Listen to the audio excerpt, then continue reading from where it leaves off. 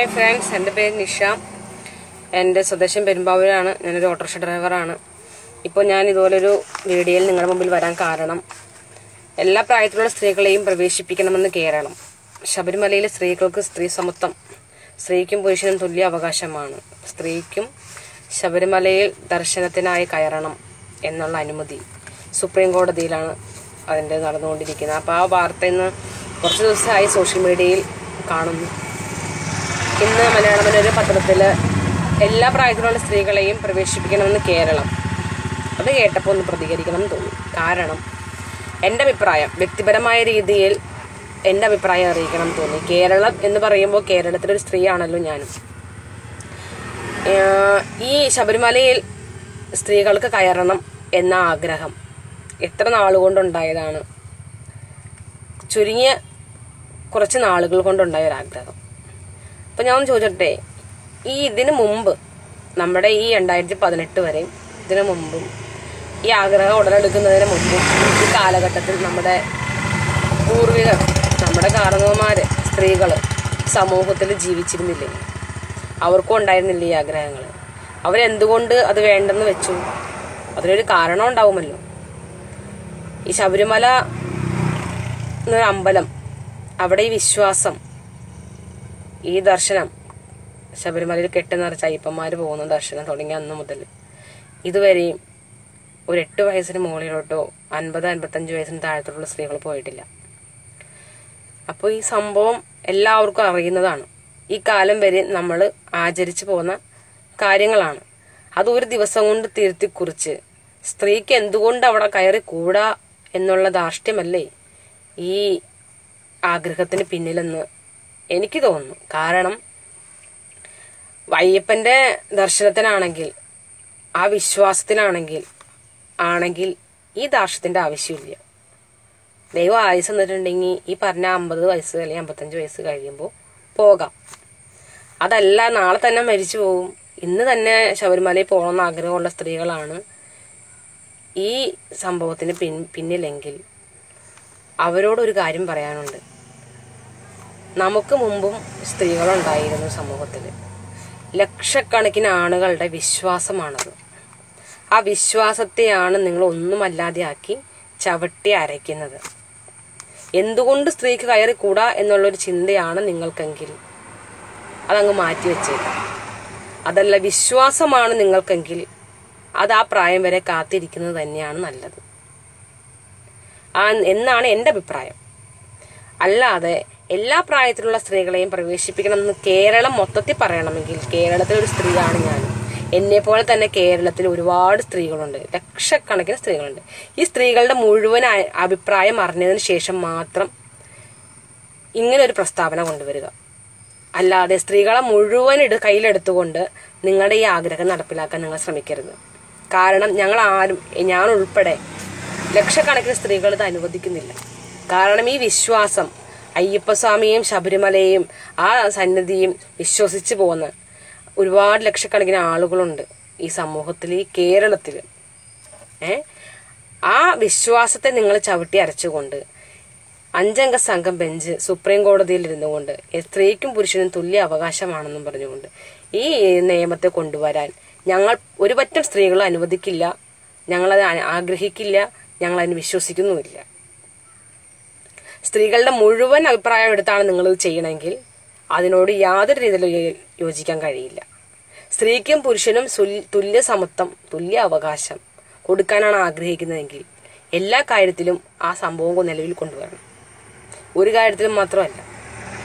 ഒരു കുടുംബജീവിതമാവുമ്പോൾ രണ്ട് കുട്ടികൾ ഉണ്ടാവുമ്പോൾ ഒരു കുട്ടിയെ സ്ത്രീ പ്രസവിച്ചാൽ മറ്റൊരു കുട്ടിയെ പുരുഷനും പ്രസവിക്കണം.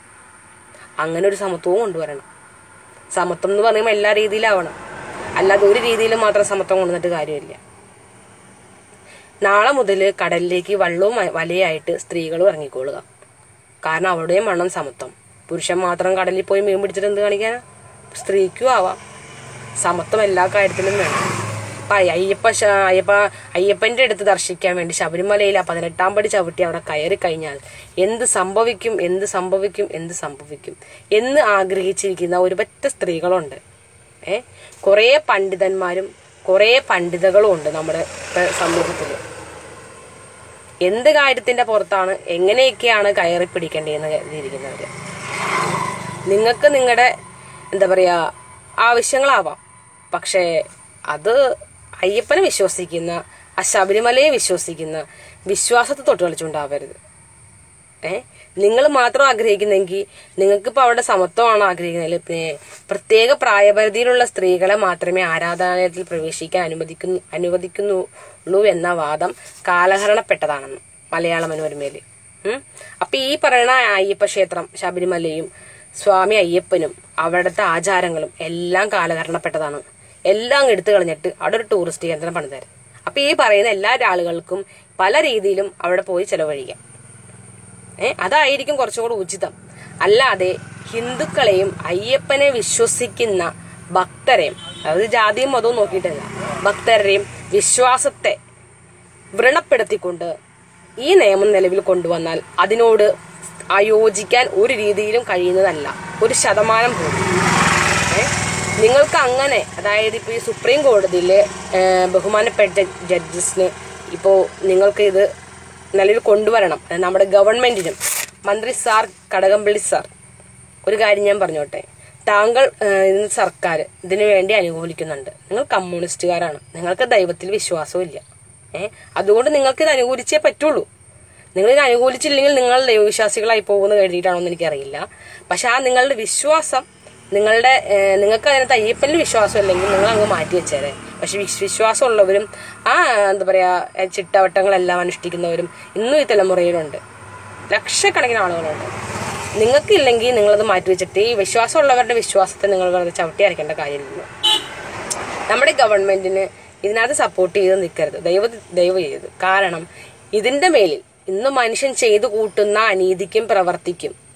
അതിന്റെ അനന്തര ഫലമാണ് ഇന്ന് സമൂഹത്തിലും നമ്മൾ ഓരോ വ്യക്തികളും അനുഭവിച്ചുകൊണ്ടിരിക്കുന്നത്. ഏ? മനുഷ്യൻ മനുഷ്യനോടായി മനുഷ്യൻ മൃഗത്തോടായി മനുഷ്യൻ പ്രകൃതിയോടായി. എല്ലാ രീതിയിലും ഉപദ്രവങ്ങളും കഴിഞ്ഞു. ഇനി മനുഷ്യൻ ദൈവത്തോടായി. എന്ത് സംഭവിക്കും ദൈവത്തെ വെല്ലുവിളിക്കുന്നതിന് തുല്യം? നിങ്ങളുടെ വെല്ലുവിളികളൊക്കെ ആയിക്കോട്ടെ. പക്ഷെ അത് സമൂഹത്തെ മുഴുവനും കേരളത്തിലെ സ്ത്രീകളെ മുഴുവനും കൂട്ടുപിടിച്ചുകൊണ്ട് വരില്ല അതിന് ഞങ്ങൾ കേരളത്തിലെ സ്ത്രീ എന്ന നിലയിൽ ഞാൻ ഒരിക്കലും അനുവദിക്കില്ല. കേരളത്തിലെ മുഴുവൻ സ്ത്രീകളുടെ അഭിപ്രായം എടുത്തതിന് ശേഷം മാത്രം ഇതിനൊരു തീരുമാനം എടുക്കുക. അല്ലാതെ നിങ്ങൾ കുറച്ച് വ്യക്തികളുടെ താല്പര്യത്തിന് വേണ്ടി മാത്രം കോടതി നിയമം നമ്മുടെ ഭരണഘടന എല്ലാം ശരിയാണ്. അതിലപ്പുറം ഒന്നുണ്ട്. ദൈവവും വിശ്വാസവും. അതില്ലാതെ മനുഷ്യനുണ്ടാവുന്നില്ല ആ വിശ്വാസത്തിൽ ജീവിക്കുന്ന ഞങ്ങളുണ്ട്. നിങ്ങൾക്ക് വിശ്വാസമില്ലാത്തവരായിക്കോട്ടെ.